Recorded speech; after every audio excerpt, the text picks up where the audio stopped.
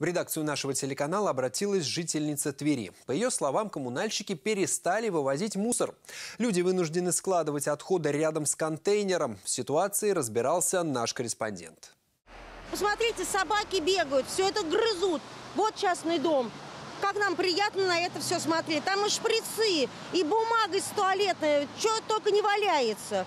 Улица Малой Перемерки. Прошлой весной для жителей здесь установили мусорные баки. Женщина рассказывает, что в последнее время вывозить отходы стали нерегулярно. Последний раз уборку мусора проводили более трех недель назад.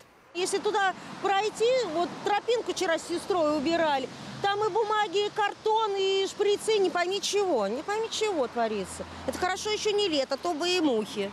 Бак находится рядом с дорогой, и сейчас он переполнен. Многие начинают оставлять мусор рядом. Контейнером для отходов пользуются многие жители близлежащих частных домов. Кроме местных, мусор сюда выкидывают водители из проезжающих мимо машин.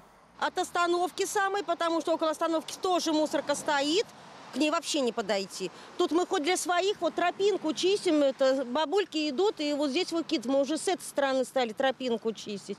А вот все перемерки, вот эти все дома. За разъяснением сложившейся ситуации мы обратились в Тверь спецавтохозяйства, где сообщили, что график вывоза мусора действительно был нарушен. Подобная проблема образовалась не по вине сотрудников регионального оператора. Причиной несвоевременного вывоза стало отсутствие подъездных путей к контейнеру. Контейнер был засыпан снегом. Специализированная техника не могла подъехать к контейнеру и не могла предоставить услугу вывоза ТКО в полном объеме.